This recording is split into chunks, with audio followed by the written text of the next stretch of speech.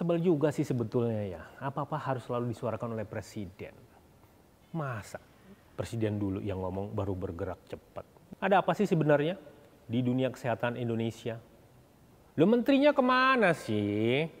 Memang tidak bisa menurunkan harga PCR ini. Kalau kemudian ada yang beranggapan bahwa persoalan PCR ini melibatkan yang namanya mafia alat kesehatan. Jangan tanya bukti, susah cari buktinya. Itu kan ibarat kentut ada bunyi, nggak ada bentuk.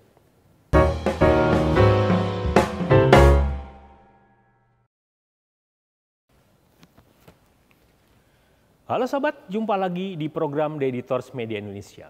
Dalam beberapa hari terakhir ini, publik kembali dihadapkan pada masalah yang sebetulnya bisa diatasi pada level menteri.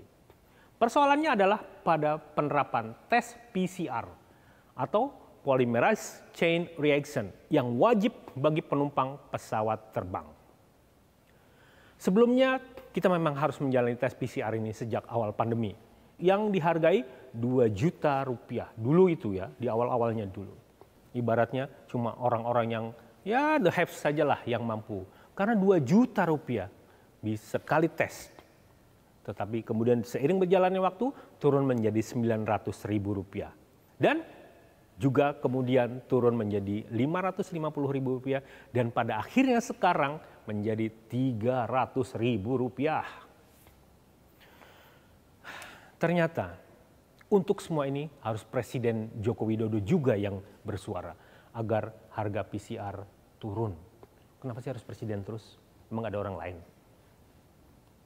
Hal itu diungkapkan oleh Menteri Koordinator Kemaritiman dan Investasi Luhut Binsar Panjaitan pada Senin 25 Oktober 2021. Sebel juga sih sebetulnya ya, apa-apa harus selalu disuarakan oleh presiden. Masa presiden dulu yang ngomong baru bergerak cepat. Ada apa sih sebenarnya di dunia kesehatan Indonesia? Lo menterinya ke mana sih? Memang tidak bisa menurunkan harga PCR ini ini arahan Presiden agar harga PCR dapat diturunkan menjadi 300 ribu. Sekali lagi saya ingin tegaskan, kita belajar dari banyak negara yang melakukan relaksasi aktivitas masyarakat dan protokol kesehatan. Kemudian kasus yang meningkat dahsyat, meskipun tingkat vaksinasi mereka jauh lebih tinggi dibandingkan Indonesia. Ini semua kita belajar. Saya mohon kita sudah cukup pengalaman menghadapi ini. Jadi kalau di dalam benak saya sih, jangan kemudian lantas marah, apalagi kemudian melaporkan ke polisi dengan alasan pencemaran nama baik. Kalau ada yang menuding terkait PCR ini, kan bukan cerita baru, bukan lagi bicara rahasia. Kalau kemudian ada yang beranggapan bahwa persoalan PCR ini melibatkan yang namanya mafia alat kesehatan. Jangan tanya bukti, susah cari buktinya. Itu kan ibarat kentut, ada bunyi nggak ada bentuk. Masyarakat memang tak punya bukti adanya mafia alat kesehatan. Mereka taunya harga tes PCR itu ternyata bisa turun sampai ke tingkat yang lumayan rendah. Bahkan kalau bisa sampai ke 100 ribu rupiah. Jadi kalau kata YLKI sih, kalau memang sudah sampai kepada 100 ribu rupiah tes PCR itu, maka semuanya itu harus diterapkan di semua moda angkutan. Jadi mau naik pesawat kek, mau naik kapal laut, mau naik kereta, mau naik bis akap, semuanya tes PCR dengan harga Rp100.000. Itu harapan dari YLKI. Dari persoalan ini sebetulnya kita bisa lihat maskapai penerbangan lah yang paling menderita dengan aturan tes PCR. Itu karena tes PCR sebelumnya bisa seharga tiket pesawat. Kalau kita merunut perjalanan ini, Garuda Indonesia merupakan maskapai yang paling terdampak dari kasus penggunaan PCR ini. Mereka menjadi maskapai yang paling ketat dalam menerapkan aturan cycle distancing. Artinya kapasitas pesawat yang begitu besar hanya diisi sekitar 70% atau bahkan kurang. Begitu banyak kursi-kursi yang kosong. Dan itu tentu saja merugikan. Bayangkan, sudah jatuh tertimpa tangga pula. Jadi persoalan Garuda misalnya ini juga harus menjadi perhatian bagi banyak pihak. Apalagi kalau kemudian ditambah dengan tes PCR seperti ini. Yang artinya warga harus bayar dua kali lipat. Yang pertama harga tiket pesawat dan yang kedua harga tes PCR. Banyak sekali penumpang yang kemudian membatalkan penerbangan mereka. Belum lagi maskapai-maskapai lainnya yang sudah lebih dulu tiarap atau bahkan yang sudah tidak sanggup merentangkan sayapnya. Kalau sudah begitu, sanggupkah kita melihat orang menderita? Marilah kita coba berempati terhadap masalah itu. Kalau kata Pak Luhut, tes PCR ini untuk penumpang pesawat ini berlaku 3 kali 24 jam. Ya Alhamdulillah ya, syukur. Terima kasih Pak Jokowi karena sudah mendengarkan jeritan hati masyarakat yang sebenarnya sudah terhimpit sampai tak bisa lagi bernafas. Kalau toh tiba-tiba kemudian Kementerian Kesehatan bisa menerapkan lebih murah lagi, ya itu pun patut disyukuri. Kalau Pak Luhut Binsar menyebutkan angka 300 ribu rupiah, maka Kementerian Kesehatan menyebutkan angka 275 untuk kawasan Jawa Bali. Sementara yang 300 ribu rupiah itu adalah untuk harga di luar Jawa Bali. Jadi walaupun beda cuma 25 ribu, itu juga duit loh ya. Gede buat kita mah. Harapan kami sih harga itu bisa kembali turun lebih rendah lagi. Bahkan mungkin kalau bisa kita gratiskan saja lah. Kan ini demi untuk masyarakat demi kesehatan kita bersama dan demi juga kemajuan Indonesia. Saya amat paham dan saya amat sangat memahami bahwa tes PCR itu memang dimaksudkan untuk menekan angka penyebaran COVID-19 yang saat ini sudah semakin landai. Apalagi kita tak lama lagi akan menghadapi yang namanya Natal dan Tahun Baru. Tentu saja ada jeda waktu yang begitu panjang di masyarakat untuk berlibur misalnya. Tapi memang sesuai banyak berita, ancaman adanya varian baru COVID-19 yang bernama AY 4.2 yang menimbulkan kasus di Inggris memang mau tidak mau tak boleh membuat kita hanya memandang sebelah mata. Pelajaran berharga sudah kita dapatkan di awal munculnya corona. Ketika itu banyak pihak yang setengah melek bahkan menganggap itu sebagai virus biasa jadi kalau kemudian tiba-tiba angkanya begitu tinggi, meninggi, meninggi, dan makin meninggi, itu adalah sebagai akibat. Akibat kita lalai.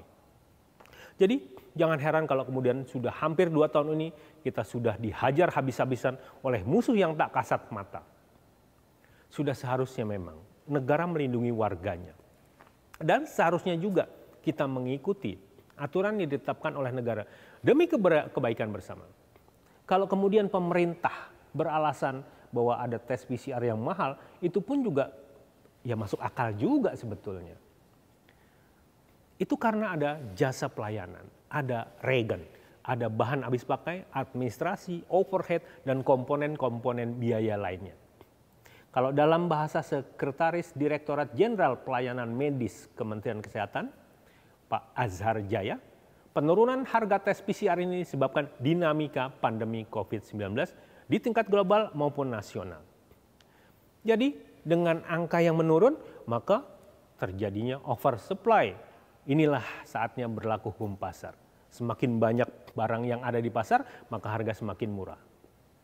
Kelebihan pasokan inilah yang kemudian menjadikan harga tes PCR di pasaran global maupun mungkin di Indonesia bisa turun. Cuman yang saya nggak habis pikir ya, kenapa kemarin kok masih ada yang ngotot gitu ya, tes PCR itu masih harga yang normal seperti dulu-dulu lagi.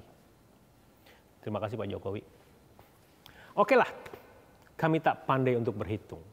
Kami tak pandai untuk menghitung segala kerumitan seperti ini. Jangankan untuk menghitung, untuk melanjutkan nafas agar kami bisa hidup kembali normal saja sudah megap-megap. Kami sudah dua kali vaksin, dan tentunya hal itu harus menjadi pertimbangan untuk kemudahan kami dalam melakukan perjalanan. Berdasarkan keterangan yang diberikan, hasil PCR itu adalah harus maksimal, hasilnya sudah ada dalam tempo 1 kali 24 jam. Artinya, ketika saya memeriksa PCR sekarang, paling lama besok malam pada jam yang sama hasil itu sudah ada tapi dengan satu catatan. Itu kalau di Jakarta. Bagaimana dengan daerah-daerah lain yang mungkin tak seperti Jakarta lengkapnya? Bisa saja hasil PCR satu kali atau dua kali 24 jam atau bahkan tiga kali 24 jam. Kalau sudah begitu, rakyat juga yang akhirnya menderita. Ilustrasi yang sederhana begini. Saya ingin terbang ke luar daerah, di luar Pulau Jawa. Untuk pemeriksaan PCR di Jakarta, khususnya di Bandara Soekarno-Hatta misalnya, itu sangat mudah. Dan mungkin saja jaminan satu kali 24 jam itu terlaksana dengan baik. Tapi bagaimana kemudian ketika saya sudah tiba di daerah tersebut, di luar Pulau Jawa? Adakah memang jaminan serupa itu bisa saya dapatkan? Apakah satu kali 24 jam itu bisa saya peroleh? Apakah kemudian tidak adanya kong kali kong, katakanlah di sini boleh 300 ribu satu kali 24 jam. Tapi kalau Anda ingin 8 jam, 600 ribu. Atau lebih cepat lagi, bisa saja sejuta. Siapa yang berani jamin itu tidak terjadi? Toh saya membutuhkan karena saya harus terbang sesegera mungkin. Barangkali untuk kota-kota besar di Indonesia, laboratoriumnya sudah lengkap. Tenaga kesehatannya pun tersedia 24 jam. Dan bahan bakunya pun tidak kurang. Tapi bagaimana kemudian kota-kota yang di luar itu? Itulah yang harus kita pikirkan bersama. Intinya adalah jangan sampai kemudian tes PCR ini menjadi kendala bagi kemudian pergerakan roda ekonomi. Menjaga penyebaran agar tidak lebih meluas lagi itu memang harus dilakukan. Tapi juga menyelamatkan nyawa rakyat pun tetap tidak boleh diabaikan.